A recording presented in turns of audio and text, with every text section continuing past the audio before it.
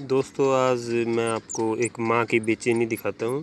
ये हवा की वजह से ज़मीन पर गिर गया था।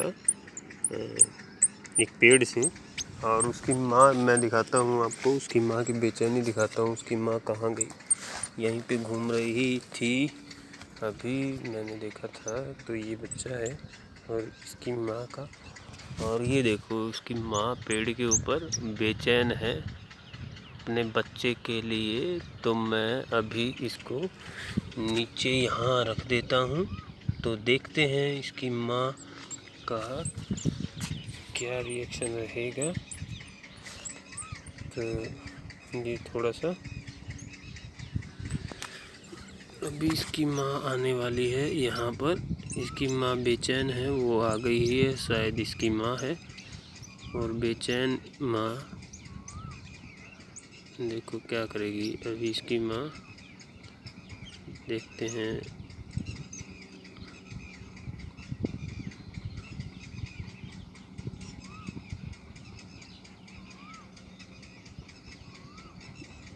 इसकी माँ ने ऊपर उठा लिया है और अपने घोंसले की तरफ़। वो चल दी है।